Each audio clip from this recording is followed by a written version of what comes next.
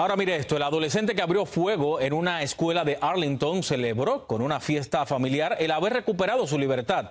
Timothy George Simpkins, de 18 años, quien pagó una fianza de 75 mil dólares, sacó una pistola de su mochila ayer en la preparatoria Timberview y le disparó a otro alumno siete veces. Al parecer lo hizo después de que su víctima lo había golpeado en la clase.